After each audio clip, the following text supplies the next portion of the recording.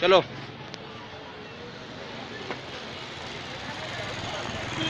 ਤਲਵਾੜੇ ਦੀ ਨਗਰ ਪੰਚਾਇਤ ਵੱਲੋਂ ਤੋੜੀਆਂ ਗਈਆਂ ਨਾਲੀਆਂ ਦੀ ਅੱਜ ਸਫ਼ਾਈ ਕਰਮੀਆਂ ਵੱਲੋਂ ਸਫ਼ਾਈ ਕੀਤੀ ਗਈ ਤੇ ਦੁਕਾਨਦਾਰਾਂ ਨੇ ਐਨਕਾਊਂਟਰ ਦਾ ਧੰਨਵਾਦ ਕੀਤਾ ਕਿ ਉਹਨਾਂ ਨੇ ਪ੍ਰਮੁਖਤਾ ਨਾਲ ਇਹਦੀ ਖਬਰ ਛਪਾਈ ਸੀ, ਜਿਹਦੇ ਚੱਲਦਿਆਂ ਅੱਜ ਸਫ਼ਾਈ ਕਰਮੀ ਆਪਣੀ ਪੂਰੀ ਟੀਮ ਲੈ ਕੇ ਪਹੁੰਚੇ ਤੇ ਨਾਲੀਆਂ ਦੀ ਸਫ਼ਾਈ ਕੀਤੀ, ਜਿਹਦੇ ਕਰਕੇ ਦੁਕਾਨਦਾਰਾਂ ਨੇ ਅਖਬਾਰ ਦਾ ਧੰਨਵਾਦ ਕੀਤਾ।